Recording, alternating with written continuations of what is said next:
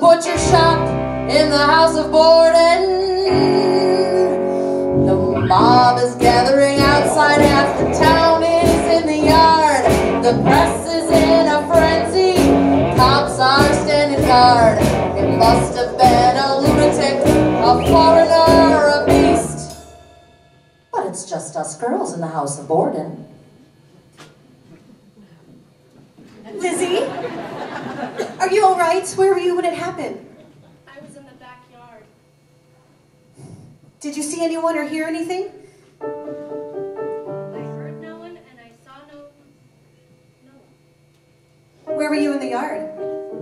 I was in the backyard.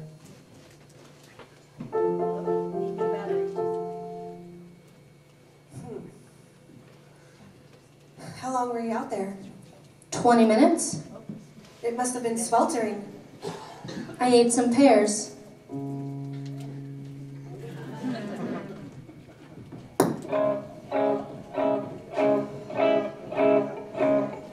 Lizzie was in the backyard, or did she say the barn? It's only been a day now, and she's spinning quite a yarn. What we know for sure is there were four, and now there's two. There's no coming back to the house of Borden. Quite a mess. Splattered blood and brains on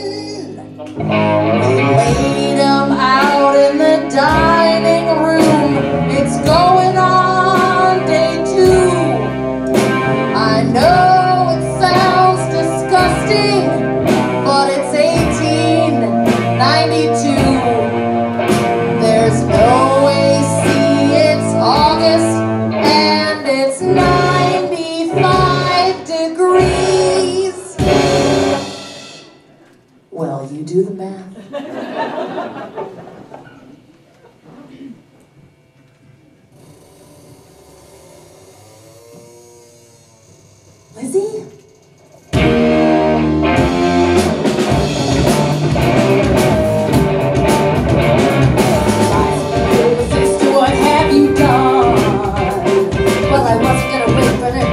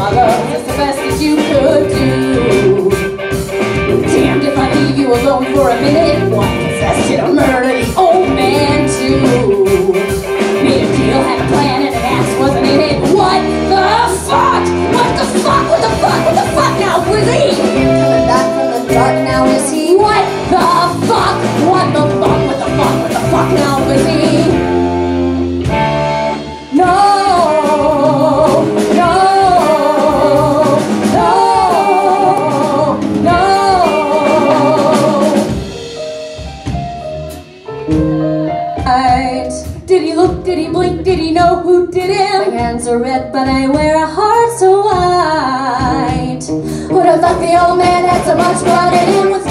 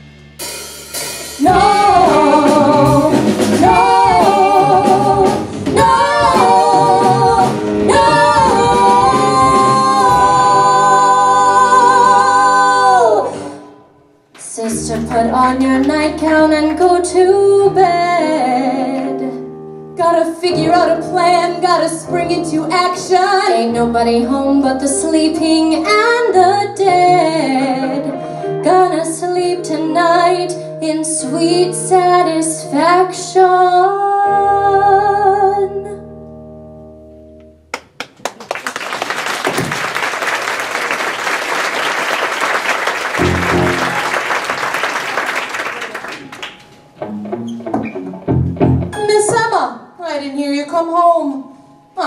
Sorry to hear about your father and mother, Mrs. Borden. What do you want for breakfast? I don't want any breakfast. Where's Lizzie? Hmm, I haven't seen her yet this morning. She must still be asleep, poor thing. I did find her dress, though, all in a heap. Gonna be hell to get out all of this. Maggie! Give that to me. The name's Bridget.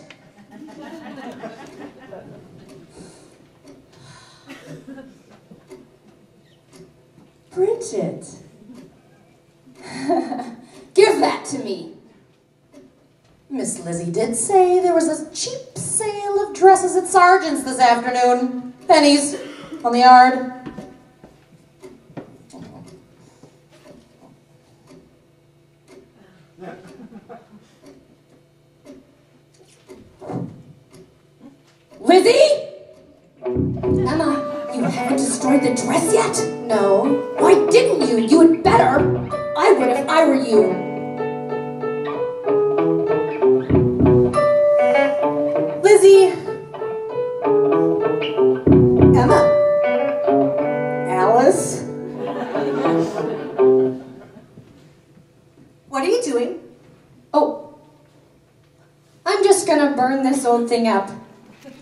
Covered with paint.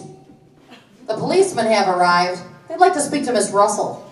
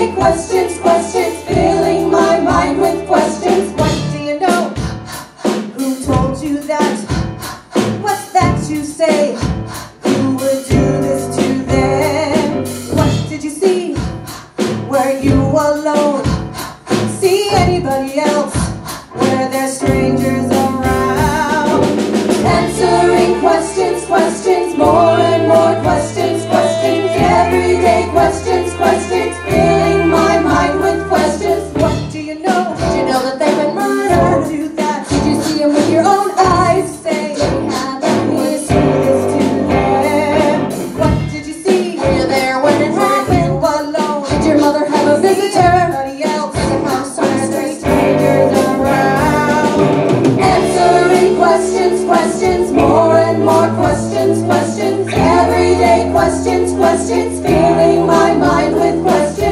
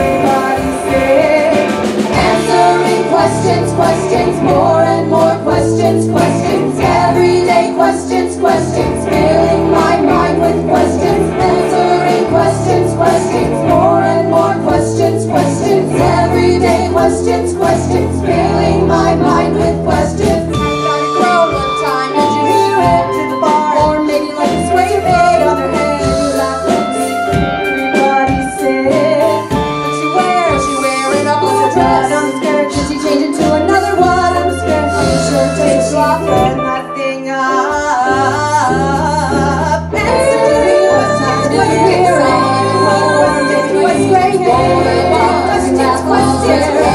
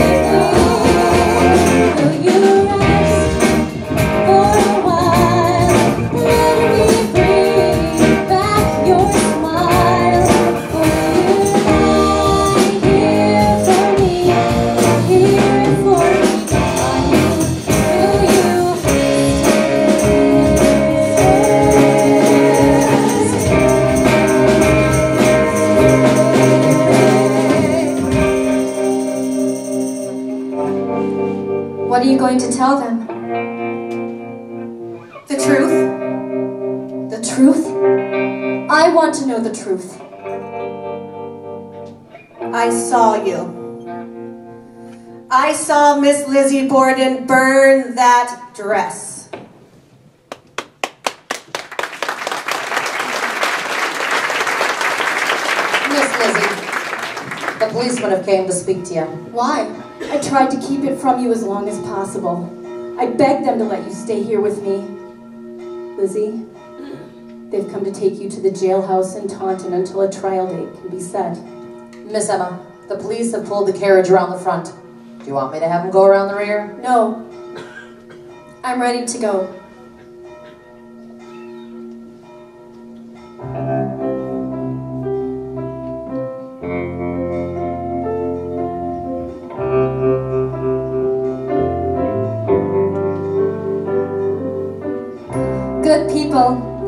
Fall River, we thank you for your kind regards in our time of sorrow.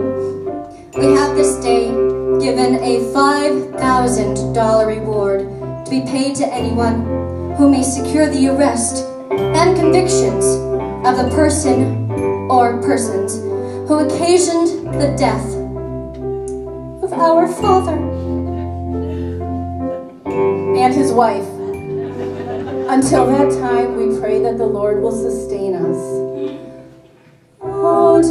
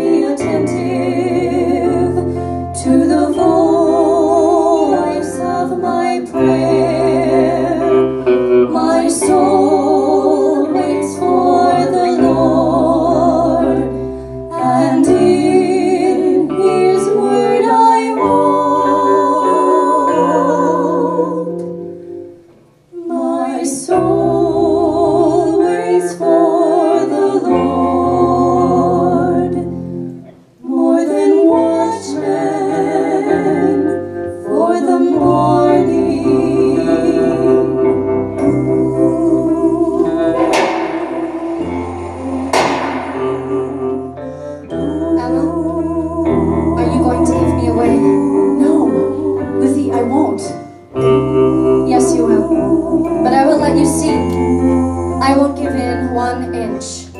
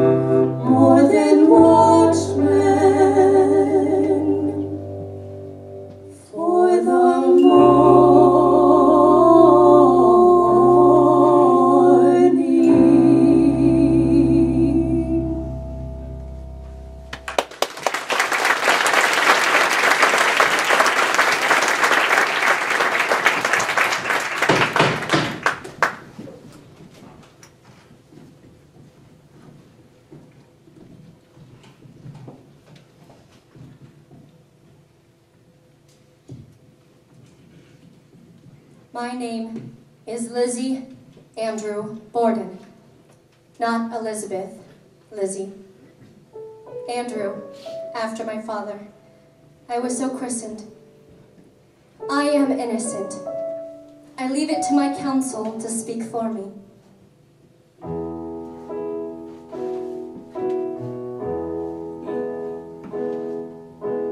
Maybe someday I'll walk in the open. My full name is Emma L. Borden. I am the sister of Miss Lizzie Borden. Maybe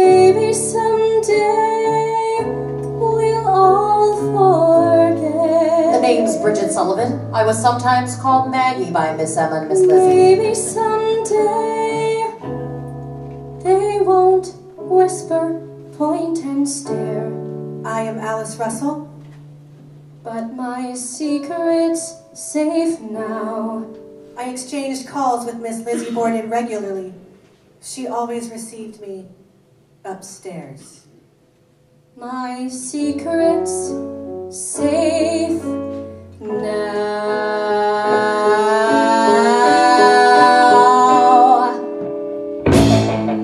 had trouble with her stepmother that Miss Mrs. Borden thought so and so, but as far as I see, the whole thing was that one's own mother has more influence over the father. It was the father over the mother. They were young girls, but young girls could not go and do and have. Tried to keep me down.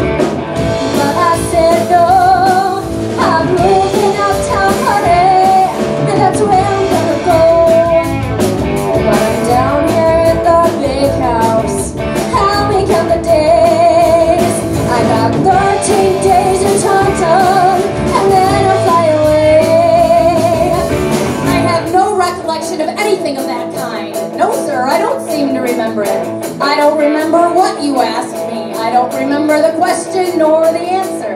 I can only say I don't remember giving it. I can't tell you whether I did or not. I don't know. I was in Fairhaven.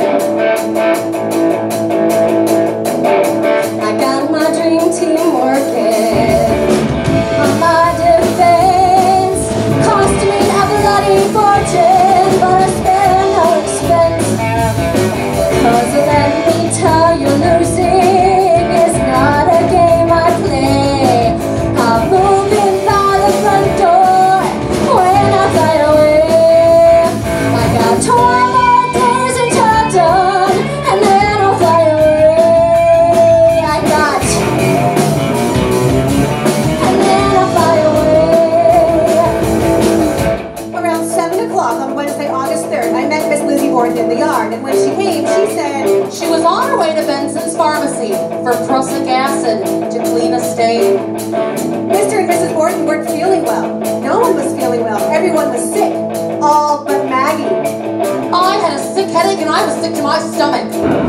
she said that Mrs. Borden even told the doctor that she thought she was poisoned. I said, who would do such a thing? She didn't know. She couldn't sleep at night. She was afraid that somebody was going to do something.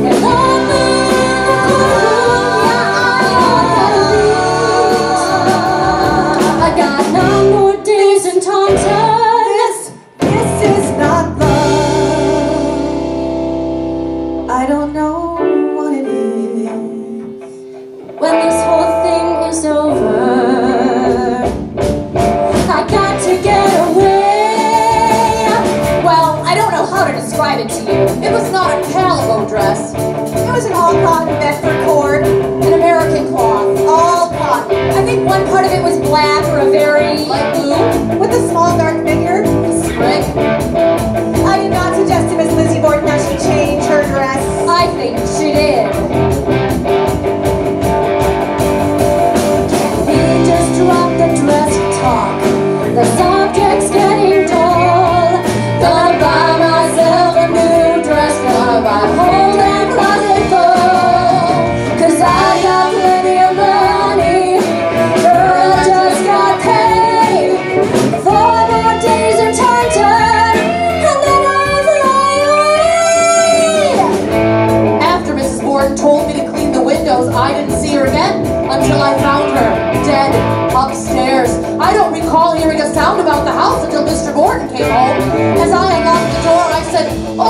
Pshaw! And Miss Lizzie laughed at the top of the stairs.